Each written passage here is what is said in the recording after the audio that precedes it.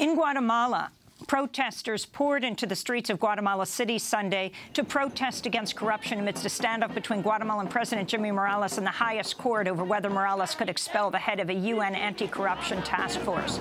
President Morales ordered the expulsion of Ivan Velasquez, the head of the International Commission Against Impunity in Guatemala Sunday, only days after the commission said the president should be investigated for illegal campaign financing. Only hours later, Guatemala's Constitutional Court suspended the president order. This is protester Patricia de León.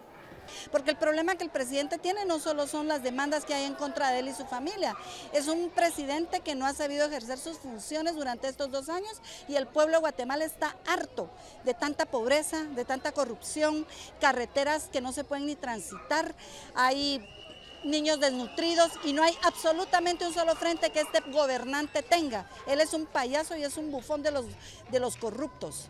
President Morales, a former comedian, was elected in 2016 after massive anti-corruption protests ousted the now jailed former president Otto Perez Molina, who is also formerly a U.S.-backed military leader during Guatemala's dirty wars.